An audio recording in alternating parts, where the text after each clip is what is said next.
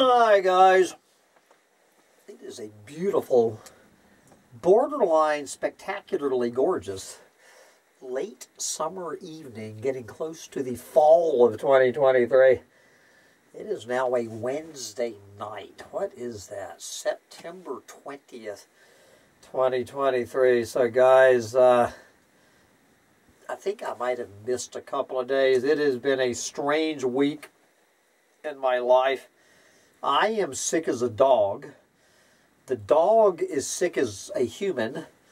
So I've got a sick human, a sick dog, uh, dealing with this, this unbelievable bullshit drama. Uh, ju just another day on the planet. Somehow uh, my rant yesterday fell through. So maybe I'll bring you two of them now that I can finally catch my breath for the first time this week here on Wednesday night. So, uh, as I'm sure you realize, there is a big United Nations summit to save the planet going on in New York City, baby. So, was today the actual climate summit? But anyway, maybe, I'm not sure when this was. Uh, you know, with all of these little corporate whores, otherwise known as world leaders. Uh, I've heard about this guy, and, and so I guess uh, the UN Doomer in Chief, uh, Senor Guterres, has a new competition. The new kid on the block and the vying for the Doomer in Chief. I love my new new t-shirt, my birthday present from uh, my buddy Kevin. No music on a dead planet. Great Doomer t-shirt. No music on a dead planet. Thank you, brother, for that kind birthday present. Uh, but anyway, back to this story. This is this fellow, I think he's been mentioned on... Uh, on Mongabay that Rhett Butler has mentioned this guy a couple of times. This is the president of Colombia. What is his name? Gustavo Petro Urrego. Uh, good old Associated Press. Dispatches from the UN. Colombian leader summons intense oratory for a bleak warning. We have a bleak warning from uh, the United Nations this time around. It's usually a dire warning, but this is, I guess, bleak. Is bleak beyond dire? So, what is the Colombian leader's bleak warning? Humanity is making itself extinct. Thank you, Senor Presidente Gustavo Petro Urrego. Colombian President Gustavo Petro delivered an ominous prophecy with grandiose language on Tuesday, painting a grim picture of what lies ahead if nations fail to swiftly redesign the way humans live on this planet. And I think it's safe to say that humans are not going to swiftly redesign the way we live on the planet. So I guess this is the uh, straight ahead prediction. Uh, we want to welcome uh, Gustavo into the Doomosphere. Quote, I'm assuming he's talking about 2023 here.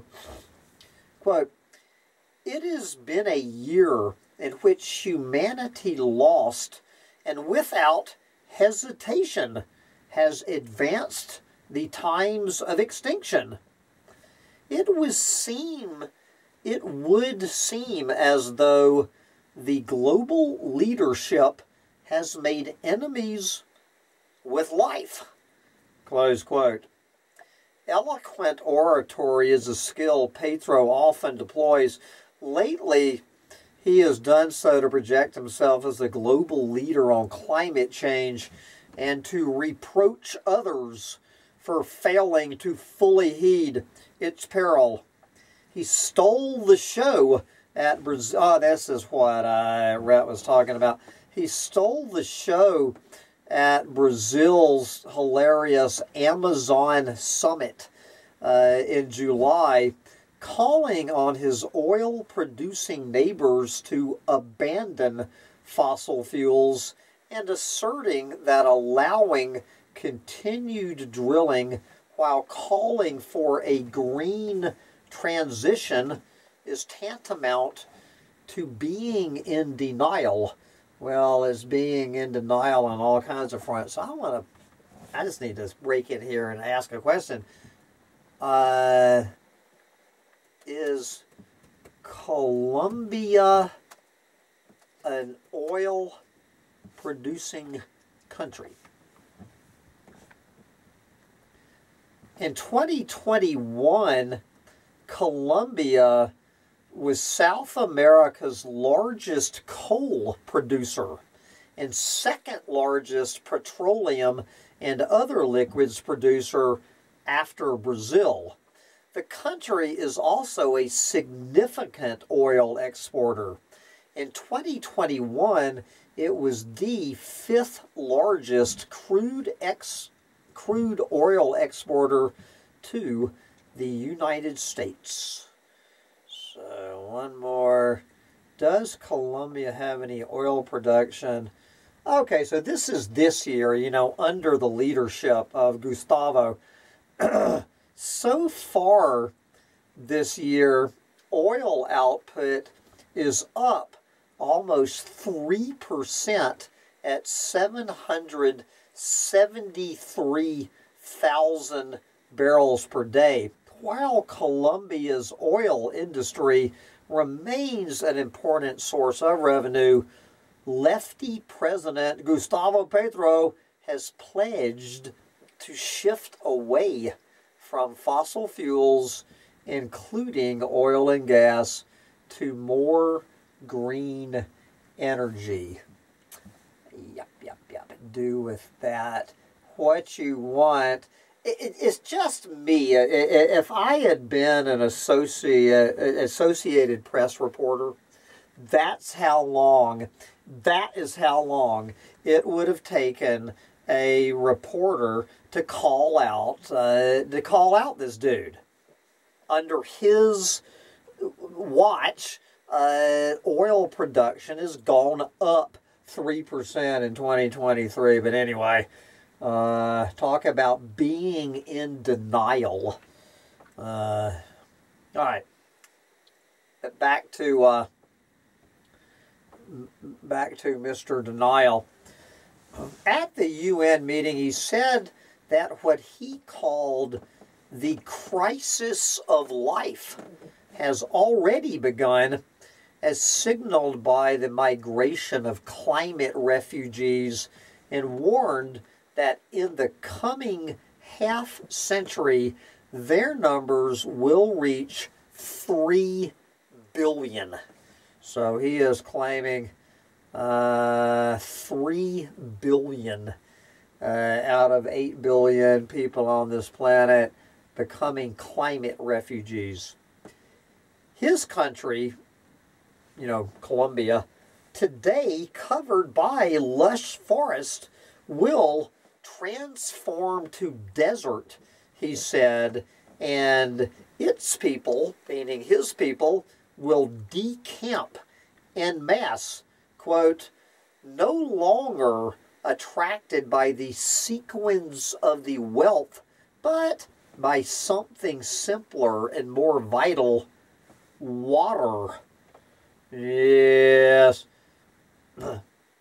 What else was on his mind? Petro said that mankind has, quote, dedicated itself to war. Huh, do you think so?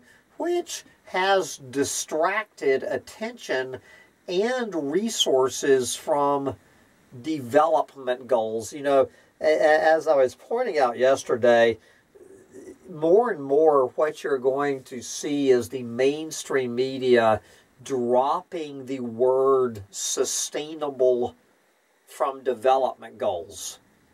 Uh, more and more articles on the mainstream media are going to cut the crap about sustainable development goals. Now, they're not going to, uh, you know, go as far on the mainstream media as pointing out that sustainable development is the biggest oxymoron of the 21st century. They're just going to stop using the word sustainable. But that's what they were talking about.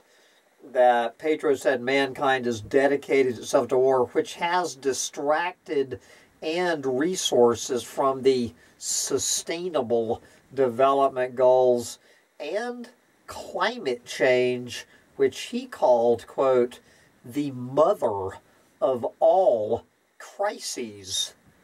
I would say it's more the great grandchild of all the crises. Anyway, uh, his speech at times resembled literary prose, particularly his characterization of the migration flow. Speaking of the migration flow, it has started from the farthest corners of the planet, from the last places, a silent march of people of different cultures that mix along the way as a painting of infinite hues. Yes, the colors mix along the unstoppable march. A multitude of all colors advance by trails, oceans, and jungles. Yes, I think we get it. Uh, Petro wrapped up by saying he wants his three grandchildren to live, quote, far from apocalypse and the times of extinction. And guys, I have no clue what this closing quote means from this guy. Would someone tell me what in the hell is this is this dude talking about? Okay. Quote I want them, meaning his own three grandchildren, to live in the times in which the human being knew how to cease killing itself on the planet and managed and managed understanding its own cultural diversity to fulfill the expansion of the virus of life through the stars of the universe. Close quote. Okay. Times in which humans knew how to cease killing themselves on this planet and managed to fulfill the expansion of the virus of life through the stars of the universe. So it, uh, I, I, I mean, the guy, guy, guys, he, he completely lost me. So I don't know if there was some uh, bad translation from the Spanish. So he basically says that humans are you know, destroying themselves and everything on this planet. So he hopes he can take the virus of, I'm assuming, human life. What, what other life is a virus? So, okay, humans have pretty much killed their home planet. So, it's time to take the virus of humanity through the rest of the universe. Oh, Jesus. That that that's got to be that has to be one of the most psychotic things that I've that I've heard uh, out of some clueless moron's mouth in in in, in 2023. I, I, I again that comment is so clueless on so many levels. I I I, I literally have no clue uh, what he's talking about, but it says it all right here no music on a dead planet.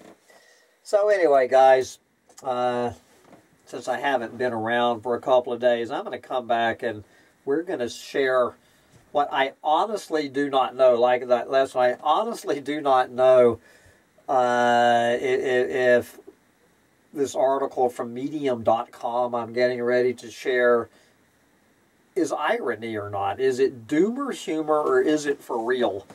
but you'll have to listen to that. And we're going to talk, come back and talk about cannibalism.